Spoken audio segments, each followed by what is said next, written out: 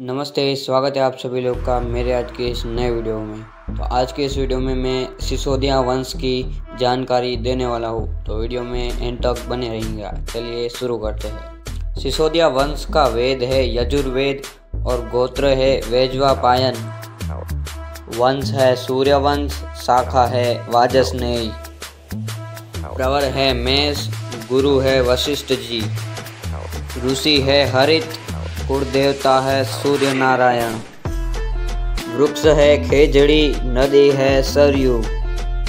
झंडा है सूर्य युक्त कुल देवी है बाण माता पुरोहित है पालीवाल इष्ट देव है श्री एकलिंग जी। तलवार है अश्वपाल, बंदूक है सिंघल कटार है दल भंजन चिन्ह है सूर्य। सिसोदिया वंश की कुल शाखा है चौबीस।